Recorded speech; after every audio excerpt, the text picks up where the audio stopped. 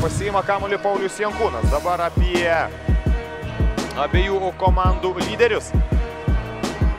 Robertas Jeftokas iš viršaus pelnantis savo ketvirtąjį tašką šiose rungtynėse. Puikiai žaidimai jungias nuo atsarginių žaidėjų solelio pakilėt. Loftonas. Perdavimas Čerajui Grantui ir triuškinantis dėjimas iš viršaus. Mindaugas Lukauskas rizikavo, bandė perimti kamolį. Aš šioje vietoje galbūt tiesiog reikėjo bandyti pražangą daryti. Galėjo tai sauliaisti lietkabelį su trimis. Pasismagina kitoje aikštelės pusėje, Lietuvos rytas nežada sustoti, komanda skiria 46 taškai, Vilniečiai spaudžia varžovus.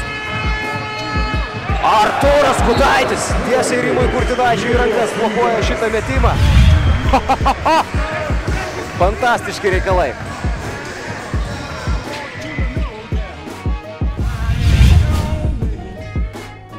Kai dirba gynyboje. Nepalieka jokių variantų, štai kaip ir dabar. Medžianas pabėgęs, Girdžiūnas. Mindaugas Girdžiūnas, piktas blokas.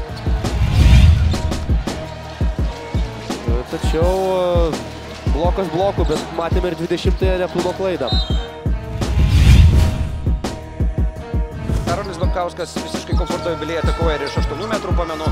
Nesikį tą teko matyti, o Gafonovas dėjimas viena ranka per varžovą. Na, štai, galite tik pasigrožėti per Brotko motumą.